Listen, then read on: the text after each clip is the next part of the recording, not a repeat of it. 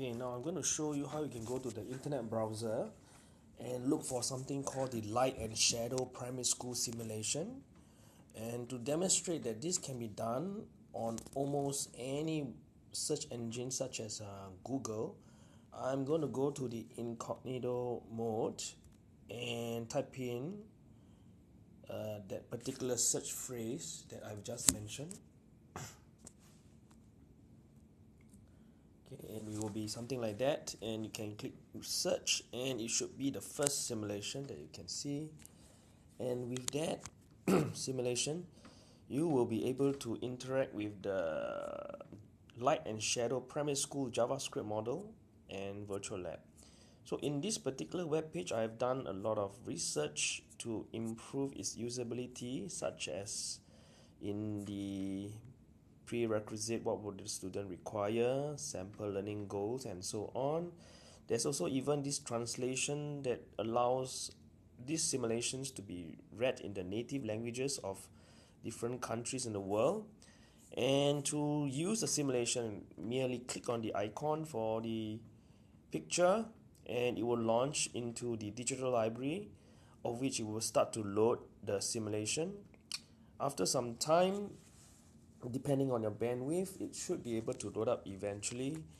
Uh, and this is uh, taking some time uh, but uh, let's see whether I can try again by refreshing it.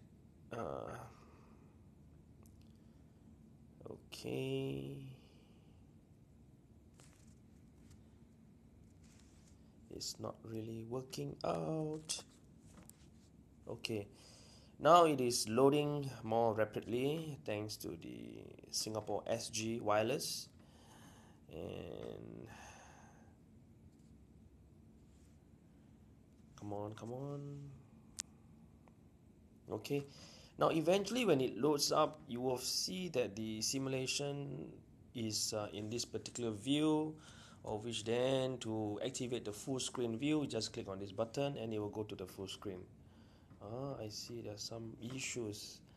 So uh, thank goodness for videoing this. So you can see when I select light travels in a straight line the simulation automatically will configure its initial states so that it allows the students to then see what does it mean when light travels in a straight line. And you can even stop the simulation and just drag on the source one to see the effect of this particular uh, moving of the source of light. Now, how about a shadow that is formed uh, when object, so the pink object is blocking the path of the light, and therefore a shadow is cast on the other side of the screen, which you can see over here. Okay, you can adjust the screen interactively and